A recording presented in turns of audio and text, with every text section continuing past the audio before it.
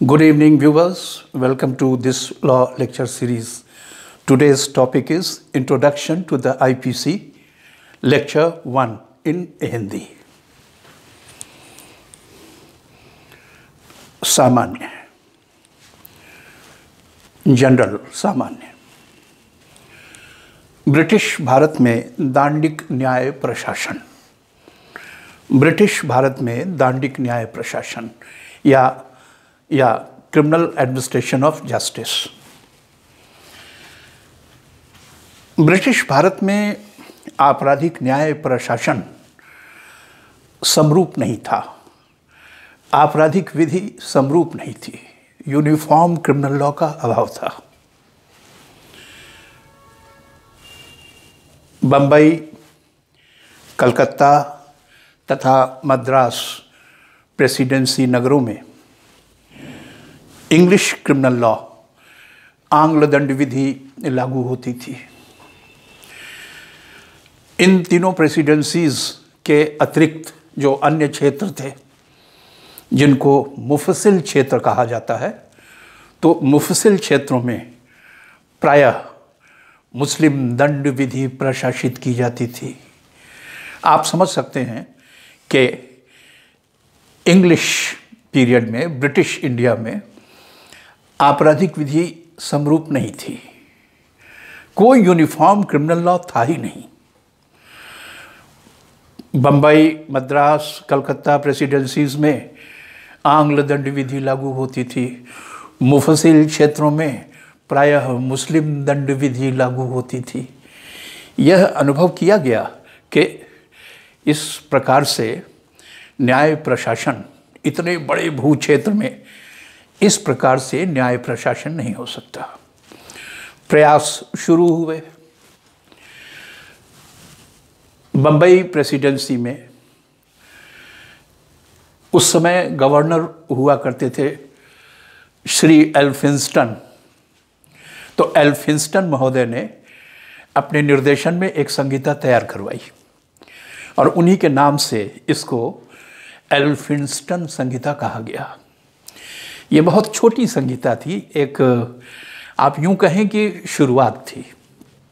इसमें केवल चौवालीस धाराएँ थी। इससे काम चलने वाला नहीं था। लेकिन एक शुरुआत हुई। पंजाब राज्य में भी एक संहिता निर्मित की गई 1844 में। तो ये दो प्रयास हुए। एक एल्फिंस्टन कोड के रूप में और एक पंजाब कोड के रूप में। लेकिन इतने बड़े भू क्षेत्र पर इन दो छोटी छोटी संहिताओं से बात बनने वाली नहीं थी।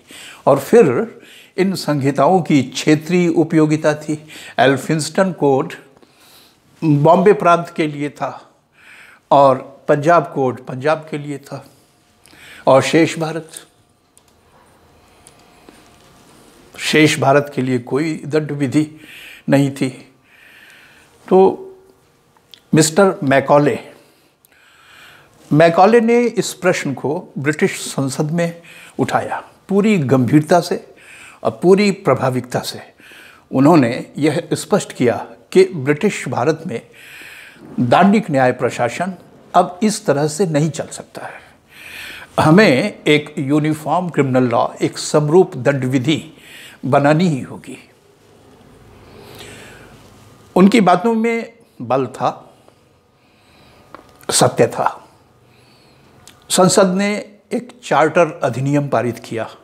1833 1833 में एक चार्टर अधिनियम पारित किया गया। द चार्टर एक्ट 1833 इस चार्टर अधिनियम के अंतर्गत भारत का प्रथम विधि आयोग गठित किया गया 1900 वो 1834 में। 1833 का एक्ट है और 1834 में भारत के प्रथम विधि आयोग का गठन इस अधिनियम के अंतर्गत किया गया। मैकॉले को, टी बी मैकॉले को इस फ़र्स्ट लॉ कमीशन का चेयरमैन बनाया गया। और इस कमीशन में और काउंसिलर्स और मेंबर्स भी थे, लेकिन इसके अध्यक्ष थे mister Macaulay. Law commission of India से यह अपेक्षा की गई कि वह ब्रिटिश भारत के लिए और दूसरे भी क्षेत्रों के लिए जहाँ जहाँ इंग्लिश रूल था, वहाँ के लिए एक डिटेल्ड कॉम्प्रहेंसिव दंड संहिता बनाए। एक विस्तृत दंड संहिता बनाए। काम शुरू हुआ और 1837 तीन साल के भीतर एक प्रारूप दंड संहिता का निर्माण हो गया। मैकॉले ने बहुत परिश्रम किया इसमें, पूरी टीम ने परिश्रम किया और तीन साल के भीतर एक प्रारूप संहिता निर्मित हो गई। ये देखिए enactment of the code enactment of the code प्रारूप संहिता 1837 में बन गई। अब इसको बनाते समय जो उस समय की आंग्ल विधि थी इंग्लिश लॉ थी उसे भी मदद में लिया गया और नेपोलियन कोड था उसकी भी सहायता ली गई। इसके अलावा एडवर्ड लिविंगस्टोन का लॉसियाना कोड था। एडवर्ड लिविंगस्टोन का लॉसियाना कोड इससे भी सहायता ली गई। तो ड्राफ्ट आईपीसी के निर्माण में मुख्य रूप से तीन स्रोतों से मदद ली गई। इंग्लिश विधि, आंग्ल विधि जो उस समय प्रचलन में थी, नेपोलियन संहिता और एडवर्ड लिविंगस्टोन की लॉसियाना संहिता थी इनको मदद में लिया गया। और ये प्रारूप संहिता बना करके इसको governor general of India in council के समक्ष प्रस्तुत किया गया। अब संहिता का प्रारूप बन तो गया, लेकिन इसमें काफ़ी कमियाँ थी। आपत्तियाँ आई, सुझाव आए, और इन सब पर विचार करने का फैसला हुआ। यह तय किया गया कि ये जो प्रारूप संहिता है, इसे एक बार पुनरीक्षित किया जाए टोटली रिवाइज किया जाए। रिवीजन का यह काम, पुनरीक्षण का यह कार्य दो विधि विशेषज्ञों को दिया गया। मुख्य रूप से सर बार्न्स पीकॉक और जे डब्ल्यू कॉलविले, इन्हें यह दायित्व सौंपा गया कि ये जो प्रारूप संहिता है और इसके संबंध में जो आपत्तियाँ आई हैं, जो सुझाव आए हैं, उसको देख समझ करके आप एक फाइनल ड्राफ्ट बनाइए।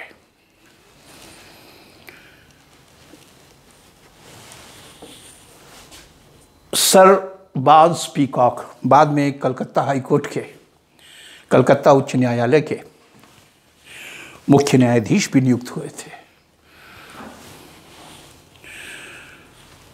इन दोनों विद्वानों ने पुनरीक्षण किया, परिश्रम किया बारह तेरह वर्ष खप गए और 1850 में कोड फाइनल हो गया 1850 में। तो प्रयास शुरू हुआ 1834 में कमीशन बना और प्रयास शुरू हुआ 1834 में। ड्राफ्ट कोड बन भी गया 1837 में लेकिन रिवीजन में काफ़ी समय लग गया। उसके पुनरीक्षण में काफ़ी समय लग गया। बारह तेरह साल खप गए इसमें। और 1850 में एक फाइनल ड्राफ्ट एक अंतिम प्रारूप संहिता तैयार हो गई। इस संहिता को विधायी निकाय द्वारा पारित कर दिया गया। 1860 में ये पास हो गई। यह डेट विशेष रूप से उल्लेखनीय है 6 अक्टूबर 1860 6 अक्टूबर 1860 को संहिता लेजिस्लेटिव बॉडी के द्वारा, विधायी निकाय के द्वारा पारित कर दी गई। और इसका नाम हो गया the Indian penal code 1860 act number 45 of 1860 भारतीय दंड संहिता 1860 अधिनियम क्रमांक 45 वर्ष 1860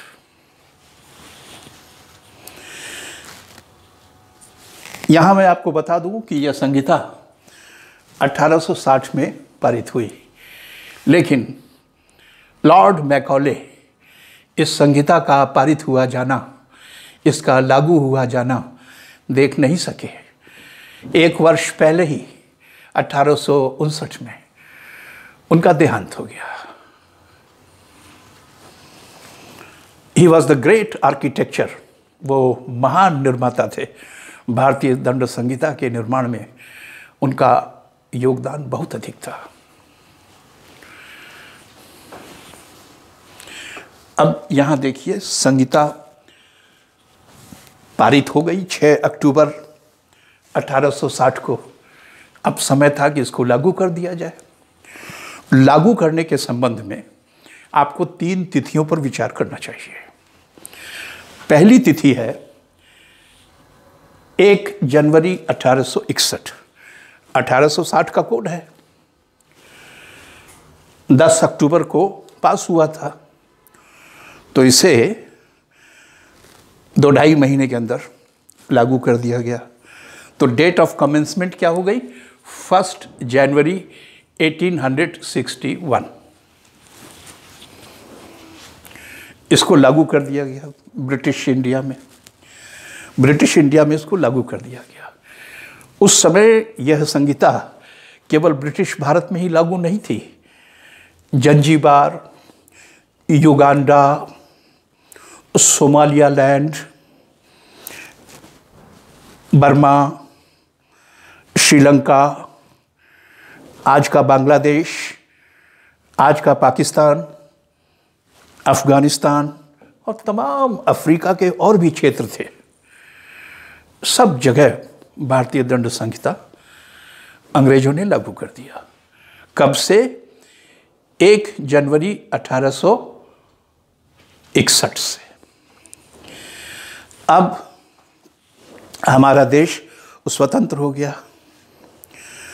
स्वतंत्र भारत में जम्मू तथा कश्मीर राज्य में आईपीसी लागू नहीं थी। जम्मू तथा कश्मीर राज्य में रणवीर दंड संहिता लागू थी।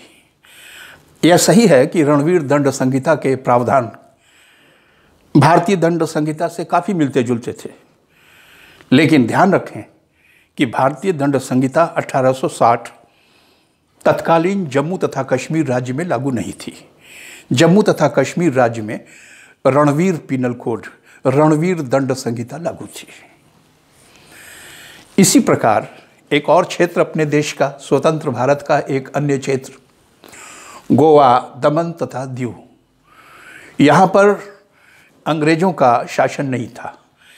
गोवा, दमन तथा दीव, यह दूसरी यूरोपीय शक्तियाँ थीं, पुर्तगाली थे, फ्रेंच थे, डच थे। उन सब के नियंत्रण में था, उनके कब्ज़े में था। तो भारतीय दंड संहिता न तो जम्मू तथा कश्मीर में लागू की जा सकी और न ही गो, गोवा, दमन तथा दीव में लागू की जा सकी। लेकिन जब पुर्तगाली और फ्रेंच और डच ये सब भारत छोड़ के चले गए और गोवा, दमन तथा दीव पूरी तरह से भारतीय राज्य क्षेत्र में विलीन हो गया। तब भारतीय दंड संहिता 1860 को गोवा में भी लागू कर दिया गया। तो ये डेट हो जाएगी एक अक्टूबर उन्नीस फ़र्स्ट अक्टूबर 1963 यानी लगभग सौ साल बाद, लगभग सौ साल बाद गोवा, दमन तथा दीव में भारतीय दंड संहिता लागू हो गई। पुर्तगाली चले गए, फ्रेंच चले गए, डच चले गए। अब कोई बाधा नहीं थी। अब इसके बाद आप जानते हैं कि जम्मू तथा कश्मीर राज्य के संबंध में यह अधिनियम पारित किया गया है। जम्मू तथा कश्मीर पुनर्गठन अधिनियम 2019 जम्मू तथा कश्मीर पुनर्गठन अधिनियम 2019 इस अधिनियम की धारा 96 ये जो पुनर्गठन अधिनियम है, इसकी धारा 96 के अंतर्गत एक अनुकूलन आदेश पारित किया गया, एक एडाप्टेशन ऑर्डर पास किया गया। और उस अनुकूलन आदेश द्वारा 37 केंद्रीय विधियों को जिसमें आईपीसी भी शामिल है। 37 केंद्रीय विधियों को जम्मू तथा कश्मीर में लागू कर दिया गया। जम्मू तथा कश्मीर से तात्पर्य, union territory of Jammu and Kashmir और यूनियन टेरिटरी ऑफ़ लद्दाख से। जम्मू तथा कश्मीर राज्य तो समाप्त हो गया ना? तो जम्मू तथा कश्मीर राज्य के समाप्त हो जाने के बाद वहाँ दो नए संघ क्षेत्र आए जम्मू तथा कश्मीर का संघीय क्षेत्र और लद्दाख का संघीय क्षेत्र। इन दोनों संघीय क्षेत्रों में आईपीसी को लागू कर दिया गया। केवल आईपीसी ही नहीं, सैंतीस थर्टी सेवन केंद्रीय विधियाँ थीं, जैसे इंडियन कॉन्ट्रैक्ट एक्ट जैसे ट्रांसफ़र ऑफ़ प्रॉपर्टी एक्ट ये सब लागू हो गए। थर्टी सेवन सेंट्रल लॉज सैंतीस केंद्रीय अधिनियमों को, विधियों को नई यूनियन टेरिटरीज में लागू कर दिया गया। कब से लागू किया गया, ये डेट देखिए। 31 अक्टूबर 2019 31 अक्टूबर 2019 से भारतीय दंड संहिता 1860 जम्मू कश्मीर में भी लागू हो रही है। और सैंतीस केंद्रीय विधियाँ, जिसमें यह आईपीसी भी शामिल है, लागू हुई। कैसे लागू हुई? बताइएगा कि जम्मू तथा कश्मीर पुनर्गठन अधिनियम 2019 की धारा 96 के अंतर्गत पारित अनुकूलन आदेश द्वारा यह किया गया। तो चार डेट्स, चार तिथियाँ हैं जो आपको ध्यान रखनी होंगी। आईपीसी पारित कब हुई? यह पारित हुई 6 अक्टूबर 1860 को। लागू कब हुई? तीन तिथियाँ हैं हमारे पास। एक जनवरी 1861, एक अक्टूबर 1963 और 31 अक्टूबर 2019 लागू होने की यह तीन तिथियाँ और संहिता के पारित होने की यह एक तिथि। अब आप यहाँ आइए। क्या भारतीय दंड संहिता संपूर्ण है। यह सभी अपराधों को परिभाषित करती है। यह सभी अपराधों के लिए दंड का प्रावधान करती है। क्या भारतीय दंड संहिता संपूर्ण है? इस संहिता के बाहर और कहीं अपराध परिभाषित नहीं है। अपराधों के लिए दंड का प्रावधान नहीं है। नहीं, ऐसा नहीं सोचना चाहिए। भारतीय दंड संहिता संपूर्ण नहीं है। भारतीय दंड संहिता समेकनकारी भी नहीं है कि यह सभी अपराधों की परिभाषाओं को और सभी अपराधों के लिए दंडों को एक जगह संकलित करती हो। नहीं, यह संकलनकारी या समेकनकारी नहीं है। संपूर्ण बिल्कुल नहीं है। भारतीय दंड संहिता 1860 भारत का जनरल पिनल कोड है। यह हमारे देश का सामान्य दंड विधान है। संपूर्ण नहीं है, न ही समेकनकारी है। बहुत सी अन्य विधियाँ हैं, बहुत सी अन्य विधियाँ हैं, विशेष विधियाँ हैं, स्थानीय विधियाँ हैं, और उन विशेष विधियों और स्थानीय विधियों में भी अनेक प्रकार के अपराधों को परिभाषित किया गया है और उनके लिए दंड का प्रावधान किया गया है। इसलिए ये समझना कि सारे अपराधों की परिभाषा और उनके लिए दंड का प्रावधान आईपीसी और सिर्फ़ आईपीसी में है, यह भारी भूल होगी। आप कहिएगा कि भारतीय दंड संहिता भारत का सामान्य पिनल कोड है। भारत की सामान्य दंड संहिता है और यह संपूर्ण नहीं है, यह समेकनकारी भी नहीं है। इस संहिता के बाहर भी बहुत से अन्य अधिनियम हैं, केंद्रीय भी और स्थानीय भी। उनमें बहुत सारे अपराध परिभाषित हैं और उनके लिए दंड का प्रावधान किया गया है।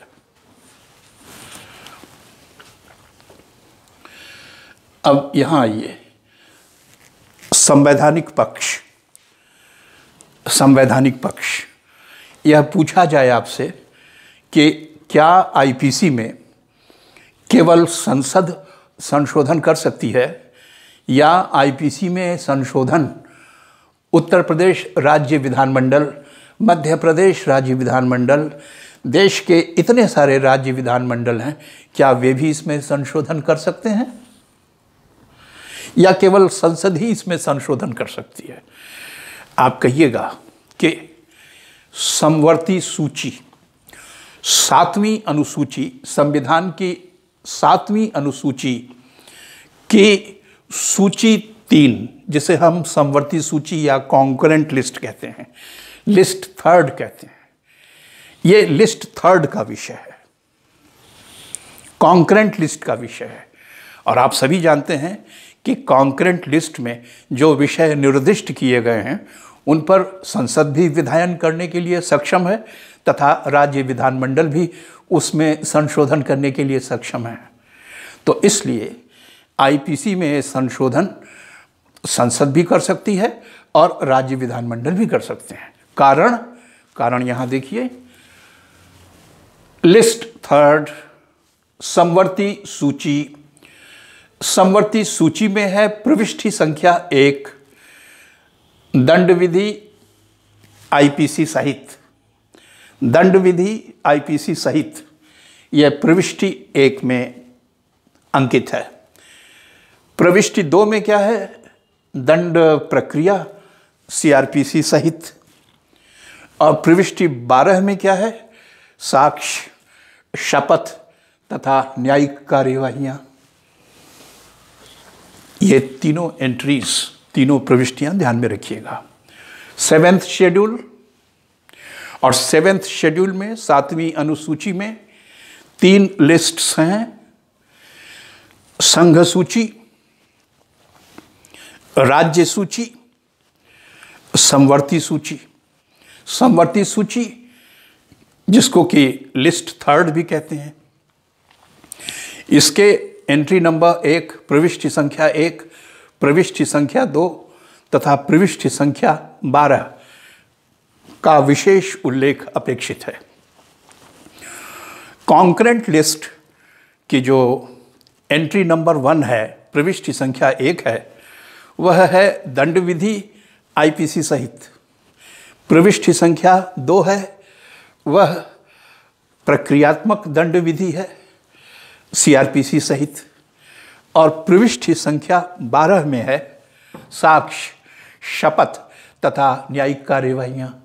तो ये तीनों विषय जो एंट्री वन एंट्री टू तथा एंट्री ट्वेल्व में दिए गए हैं।